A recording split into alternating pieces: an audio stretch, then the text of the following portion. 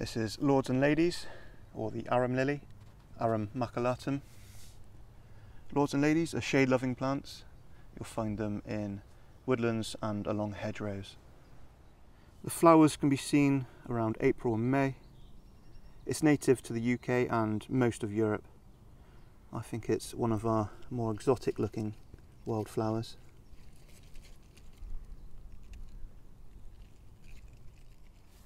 The cylindrical structure in the centre is called a spadix and it bears tiny yellow flowers at the base inside.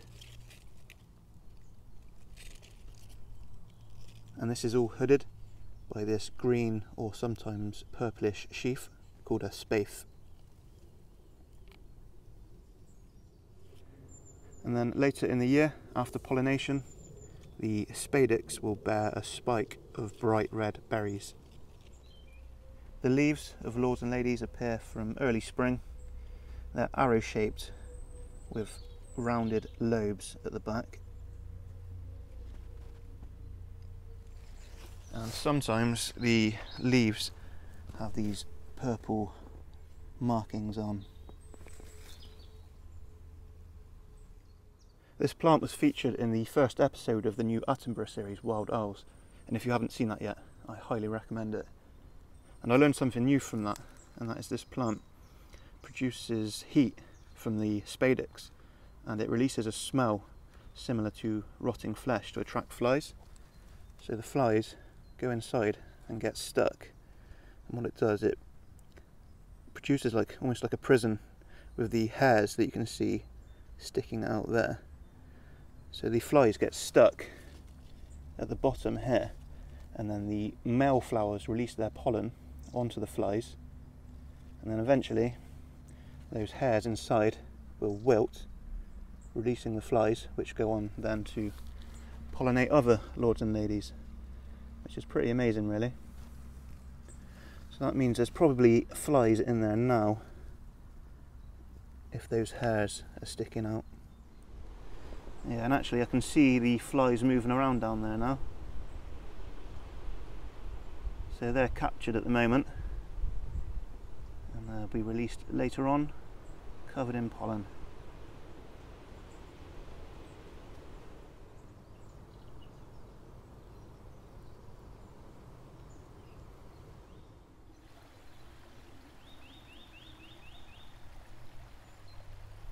This is marsh marigold.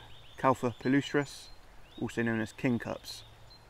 It's in the buttercup family. They aren't actually related to true marigolds, which are from the daisy or Asteraceae family. From late March to July, these large golden flowers can be seen in damp areas like marshes and damp woodlands and next to ponds and streams. The flowers are up to around 5 centimetres across. They usually have five golden yellow sepals and many bright yellow stamen. The leaves are large and are heart-shaped to almost completely round.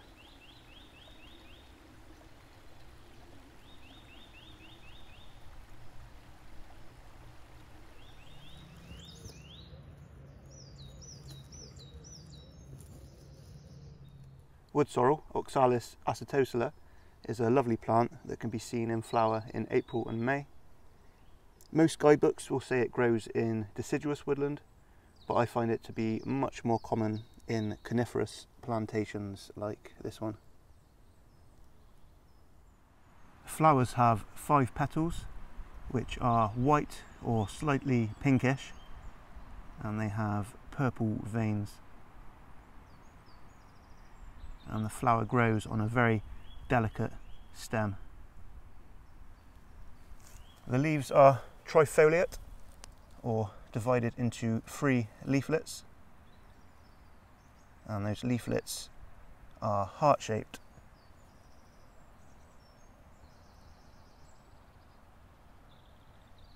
So these leaves often get confused with clover because they're also trifoliate but the leaflets of clover aren't heart-shaped and also clover is a bit of a more robust plant. They're not quite so delicate as these. The leaves and the flowers of wood sorrel fold up at night or in bad weather. You can see they're closed up and look a bit like tents. So these ones have been in the shade all morning, so they're still closed up. If we look just over here, uh, these ones have been in the sun for a couple of hours now, and these ones are mostly opened up now.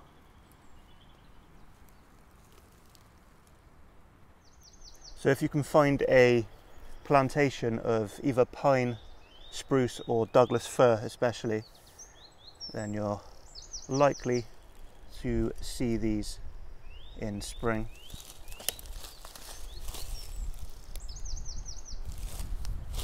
And you can get quite a lot of these nice delicate flowers.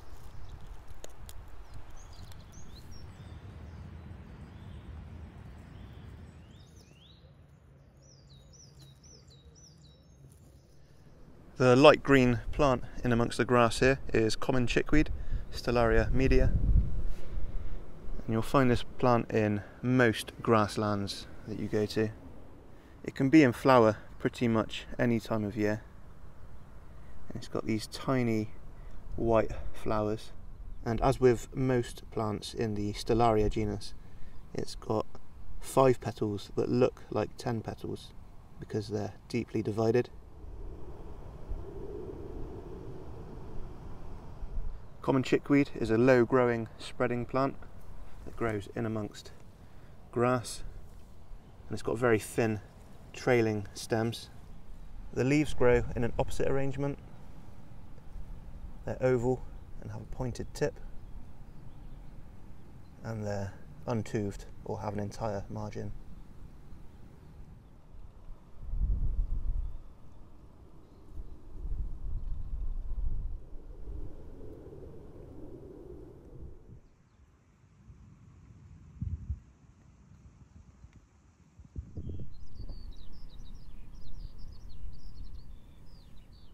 These are purple dead nettles, Lamium purpureum. They aren't related to the stinging nettles, they're from the mint family. And like I've said before, all mints have square stems with opposite leaves. It's a common plant that mostly flowers in spring, although it can sometimes be seen in flower all year round and you'll find it around field edges and around hedgerows and along roadsides. The leaves of dead nettles don't sting and you see the upper leaves are quite a dark purplish colour. The flowers are pinkish purple and tubular and they have a hooded upper lobe.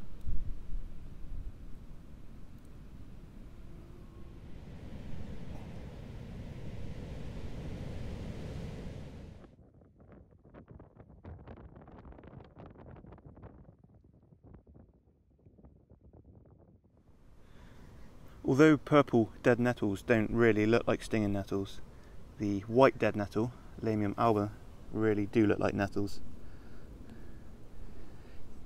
If it wasn't for the hooded white flowers, then these would really look like stinging nettles. And yeah, these don't sting at all.